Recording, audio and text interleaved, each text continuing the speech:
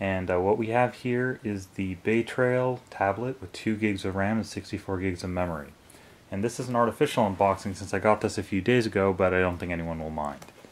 So here we have the regular outside box that it came mailed in.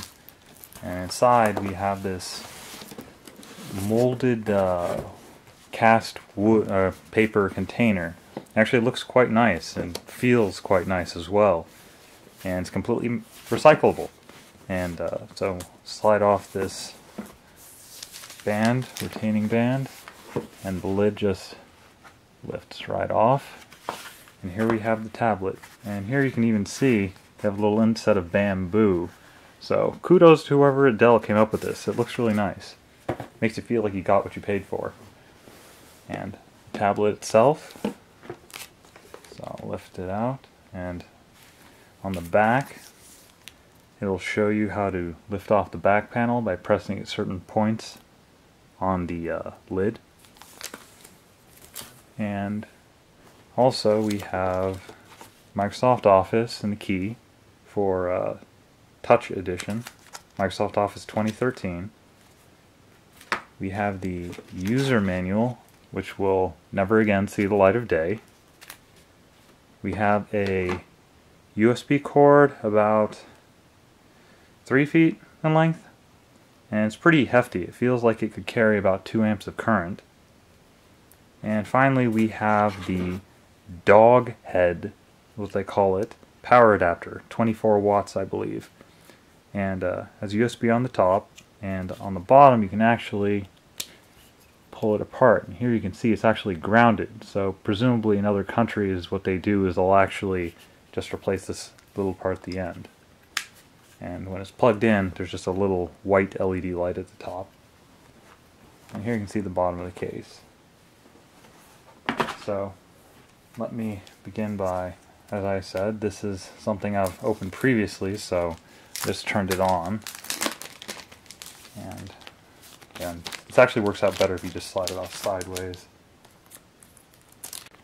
So now I'm going to go over what the ports are on this. If you look at the bottom, you see we have two slots for the support for the keyboard, some pogo pins, and a dock connector. But what's interesting is these sides are actually magnetic. So I'm not sure anyone still uses floppies, but if you do, it's something to keep in mind. And around the side, we have a mini HDMI port, the SD card slot, and some odd hole. It's about the size of the paperclip, but it's blind and it doesn't go anywhere, so I have no idea what that is. We have one speaker here. On the top we have the power button, a small white light that comes on, two holes of unknown purpose, probably microphones. Going around, we have the audio jack, a volume up and down switch, another speaker, and the charging port, which is actually a, mi a micro USB, which is again very good, and a super speed USB 3.0 port. And I will say I've tested this port and tried to plug in a small dongle I have, but unfortunately it does not actually conduct any data. So sorry to shoot down any hopes there. So while I'm at it, I'll demonstrate how you eject the SD card on this model. You take a pin, you stick it in the hole, you press, and it actually ejects with some force. And you just can kind of get it a little loose, and you can get your finger behind it and pull. And out comes the SD card. And here I have a SanDisk 64 gigabyte Ultra model loaded. You can see it's almost like a SIM card in a phone. You pop it in, latches into the little notch right there. And then you can slot the carrier into the slot. And uh, I'll demonstrate the display quality once I can calibrate the video camera just a moment. And uh, everyone's probably keen on seeing how exactly the back comes off, so I'll demonstrate that now.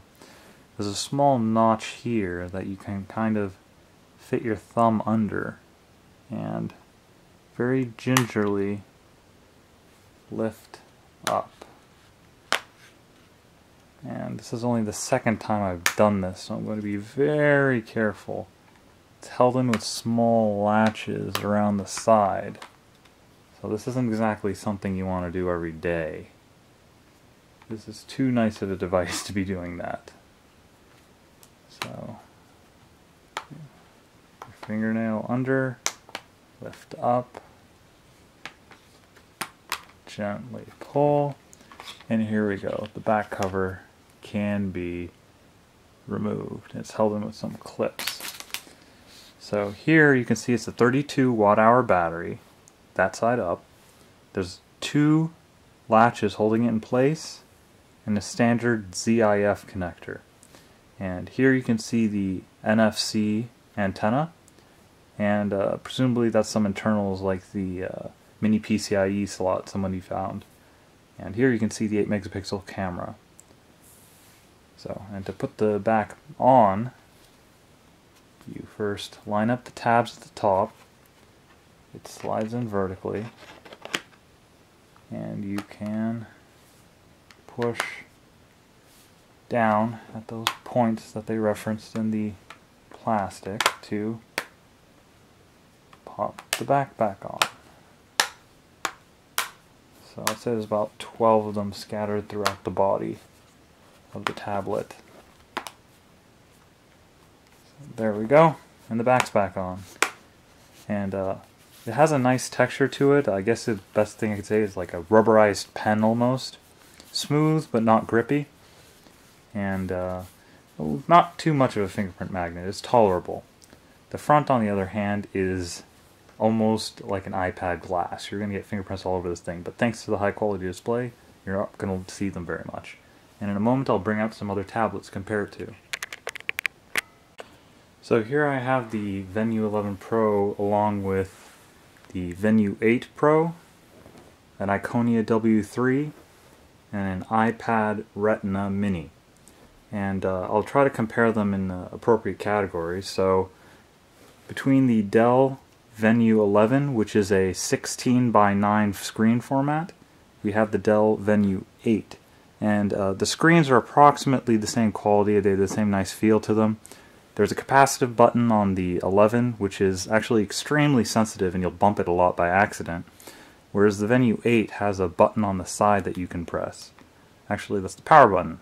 And like you just noticed, it's kind of easy to get these two confused. This is the Windows button, that's the power button.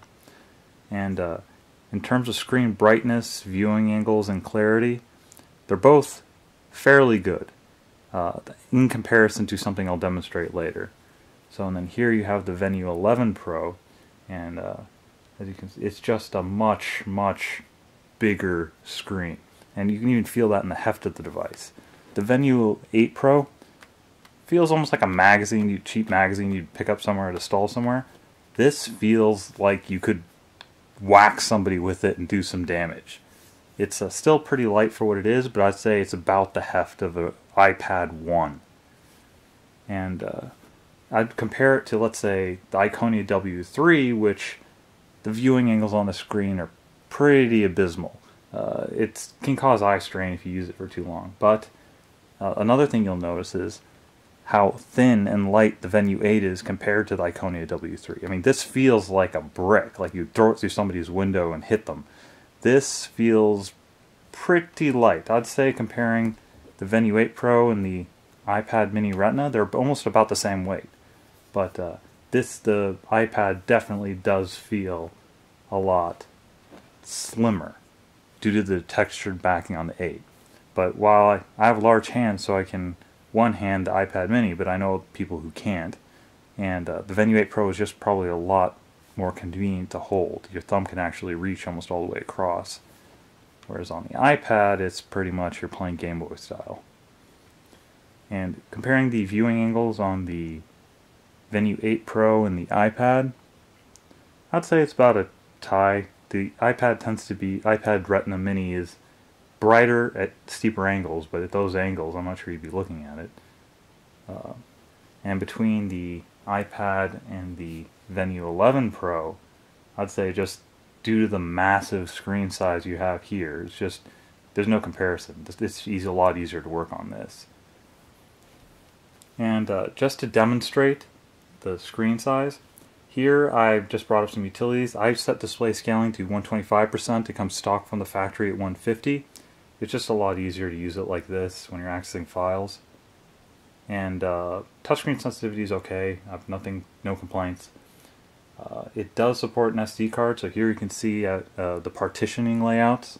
It's got a 500 megabyte EFI, 40 megabyte OEM, a 2 gigabyte recovery, a 50 gig uh, Windows drive, and another 5 gig recovery after. So it's only about 30 gigs or so free when you get it. And uh, you can see my SD card, I've done some shenanigans to get a multiple partitions. I actually have a bootable SD card with an EFI partition. And uh, if there's interest, I'll teach you guys how to do that. But uh, it does support an SD card, and you can potentially offload some apps onto it if you know what you're doing.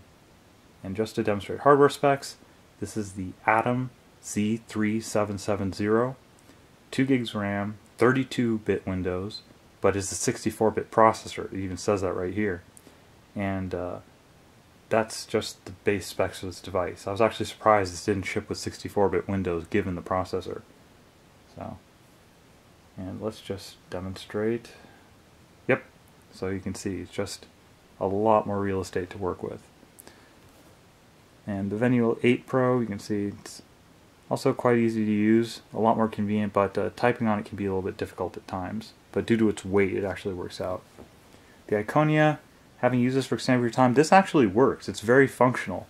And uh, unlike the Dell, which Dell Venue 8, which charges through the same port that is for data, the Iconia W3 actually has a separate USB port and a separate charging port. And the hardware Windows button is actually far superior. I find myself using this quite a lot. And uh, if we actually look at the Dell Venue 8's memory card slot, it's actually buried behind one of these rippable flaps. And this just really rubs me the wrong way. I feel like this is going to fall off. It eventually will, probably. But uh, as I said, uh, the Dell, if you, I pointed out that this uses a, uh, here we go, has a micro USB next to a full speed. If you actually plug in, like this is a wireless keyboard dongle, if I plug this in, it actually will not activate. So unfortunately, no, they didn't. This can't do data and charge. However, on the Venue 8 Pro, it can do data and charge. So as I plug this in, yep, you can see here it's detected. So it, it would have been nice if they added that to this where even that small port could have been used. But honestly, with the full-size port, what's the point? You just take your full adapter, stick it in, and off you go.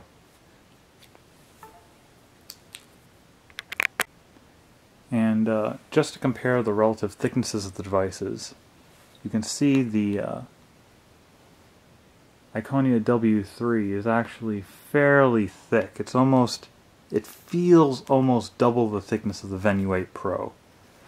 The iPad Air, uh, iPad Mini Retina obviously takes the cake. It is the slimmest of all three of the devices, and it's extremely light too, just due to the fact it's not textured. And uh, between the Venue 8 and the other devices, actually, it's almost as thick as the Iconia now that I look at it, but uh, it doesn't feel that way when you're actually holding it, just due to how smooth it is on the back. The Iconia has a or bulge that you really feel. So, between all these tablets after using them for a while, obviously I think this is a toy, not really relevant. Uh, between these two, honestly, these are an excellent value for what they are. A lot of people bash the screen, but honestly, you can live with it. It's not that bad. It's bad, but not terrible. And uh, the other issue is the processing speed. I haven't done any intensive apps, mainly VPN, software configuration, things like that. So this works for me. I could throw this in a bag and not have to worry about it. It feels durable. Only issue is if you're flexing the screen, you can see there's distortions popping up. Doesn't inspire confidence. The Dell, it's rigid. None of that. It's extremely well built. Same with the Venue 11 Pro. There's a little creaking to the removable back, but very acceptable given what it means. And again, the iPad is a toy. No replaceable battery, and the SIM card slot's built in, so you can't really... You can change the SIM, but you're dependent on carriers.